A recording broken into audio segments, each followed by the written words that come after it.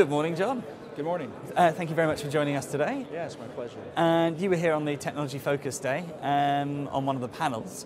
Perhaps you could just give us a quick overview of the panel and uh, what uh, came out of it. Certainly. Uh, this is actually my third DGI here in London. It was my first opportunity to speak, and it was a part of the panel that we had on Monday morning for the Tech Day, talking about new ideas and innovation in uh, geospatial uh, industry. And so what I focused on from DigitalGlobe is what we're doing with our constellation of satellites. We've got three satellites that provide uh, revisit around the globe every day.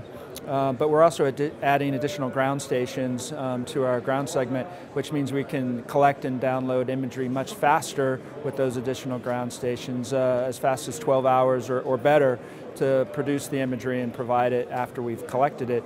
Um, but we also talked about our unique capabilities with our eight bands, uh, with WorldView 2 and soon to be WorldView 3.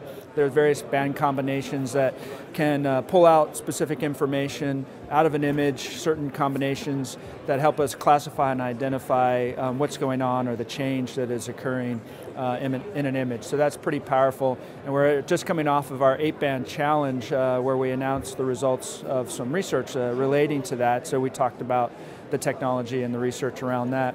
And then what we talked about is how we're using online services to deliver the imagery that we're collecting from the constellation and how we're able to to plug into any Open Geospatial Consortium standard that is a, an application that can use online services and then use that imagery that we've collected very quickly, processed, and then downlink, make it viewable in, say, ERDAS or Esri tools or BAE uh, Google Earth or Bing, any application uh, that takes an OGC standard, and then a user can very quickly look at that imagery and, and begin their analysis or the exploitation they need, they need to do to get to the answers needed uh, for their assessments.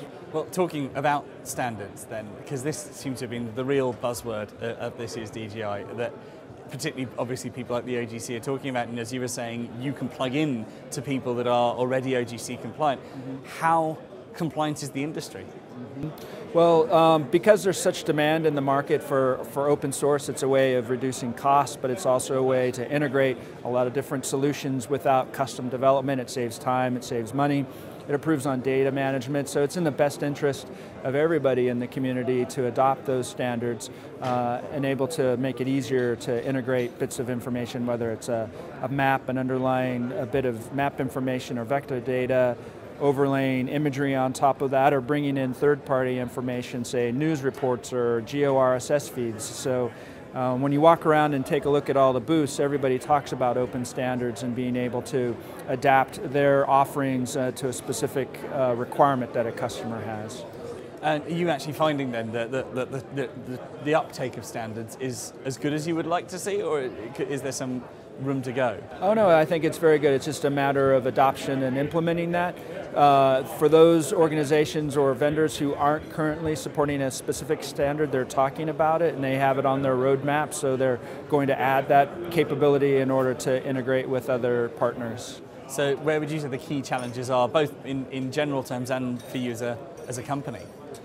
Well, you know, it's a, it's a difficult environment around budgets, and so folks look at what, uh, what the most important, um, what the greatest value that they can get from a particular solution. And so anything that somebody can do to get to an answer much faster, uh, in an easy, in an easy way, say, provide an easy button to, to some kind of answer, then I think that's where a lot of the attention will go. So, yeah, budgets are always an issue, uh, but I think adding a, a, valuable option to folks who, who see how quickly they can do the work they need to do, then, uh, then they're, they're, they're happy with that.